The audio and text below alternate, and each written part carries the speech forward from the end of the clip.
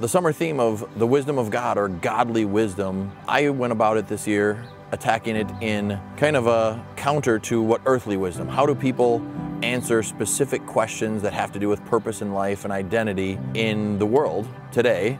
Common type of answers versus then how does the Bible and how does God answer those things? And some of the questions I used is who is God? and who are we as humans? What is good? And then why are we here? Why are we here on this earth? Why are we here? What is kind of our purpose? And so in that, you get both identity and purpose of life and really showing high school kids the difference of those things. This is what it looks like to normal humans who don't have God, who don't have the Bible, who don't use it, and then really digging into what the Bible says and what God tells us those things are. And that we can get our identity in Jesus Christ and our purpose is to live for Him.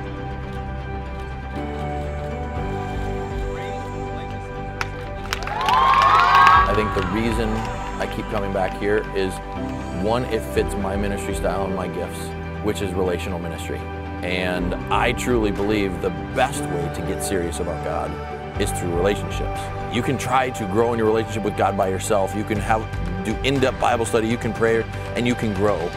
But the model that Jesus lays out in the New Testament is for them to work together. He taught his disciples about how to start the church and how to work together through fellowship and reading the word and prayer and eating together. And that's what you do at camp. You fellowship. That's the fun place. You play games, you hang out in the cabin. You know, kids are playing signs this game for hours and they're just hanging out with each other and having a blast.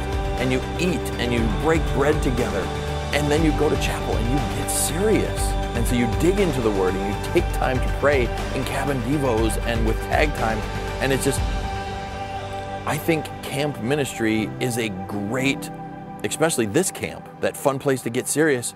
It is a place that models the Acts 2 model because all of the four aspects that they were supposed to do happen at this place. And that's why I keep coming back, is because it reminds me of what being a Christian is supposed to be. And to let God use my talents to further his kingdom, man, that's that's so appealing and I want to be a part of that.